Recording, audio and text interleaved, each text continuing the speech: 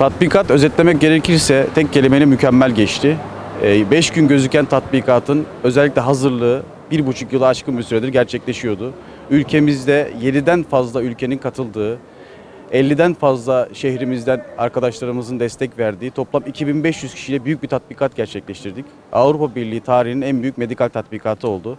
Büyük bir organizasyondu. 60'tan fazla e, operasyonu başarıyla sahneledik. Deniz ambulansımızı, kara ambulanslarımızı, hava ambulanslarımızı, uçaklarımızı, helikopterlerimizi kullandık. E, yabancı dostlarımızı, sağlıkçılarımızı ağırladık. Azeri dostlarımız da bizle birlikte sahada aktif görev yaptılar.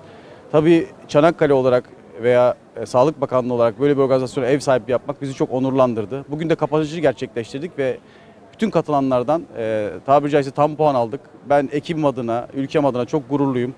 Tabii şu an Libya'ya da aynı şekilde destek veren bir sağlık ordusu e, var sahada. UMKE'miz maalesef ki bu afetlerde, ülkemizde yaşanan afetlerde çok tecrübe kazandı. Ama bu tecrübeyi dünyanın her yerinde göstermek için ekibimiz her zaman hazır. 7-24 esasıyla çalışmaları zaten gerçekleştiriyor. Bu tatbikatlar sayesinde gücümüze güç kattık. Sayın Müdürümüzün söylediği gibi ekipler 7 yabancı ülkeden e, yaklaşık 300'e yakın ekip buradaydı. Sağlık personeli arkadaşlarımız buradaydı. Gerçekten çok etkilendiler. Avrupa Birliği delegasyonunun e, temsilcileri buradaydı. Sivil Koruma Havuzu'nun, e, Avrupa Sivil Koruma Havuzu'nun temsilcileri buradaydı. E, Tatbikat Komisyonu ve koordinatörleri buradaydı. Yaklaşık 75 kişilik bir yabancı ekibin koordine ettiği, yürüttüğü, yönettiği bir tatbikat bu. Çok büyük çaplı bir tatbikat gerçekten de ama e, Sayın Müdürümüzün söylediği gibi de kendilerinin ifade ettiğine göre Avrupa'nın bugün Modex'in yapmış olduğu bugüne kadarki en büyük tatbikat. E, tabii biz tatbikatta burada bir e, afeti de yaşamış olduk tatbikat içerisinde.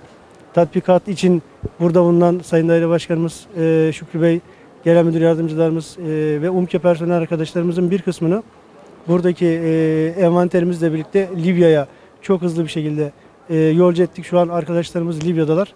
160 e, UMKE personeliyle e, yaklaşık 20'den fazla e, araçla, 10 ambulansla, e, 2 Sahra Hastanesi, 8 e, EMT1 seviyesinde Sahra Hastanesi ile birlikte 160 kişiyle şu an Libya'da hizmet veriyoruz.